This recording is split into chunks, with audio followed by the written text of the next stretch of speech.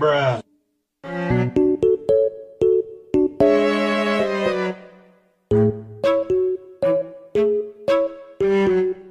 A few moments later.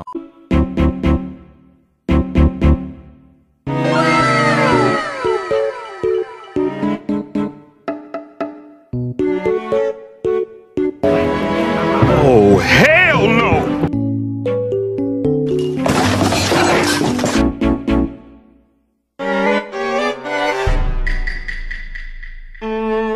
啊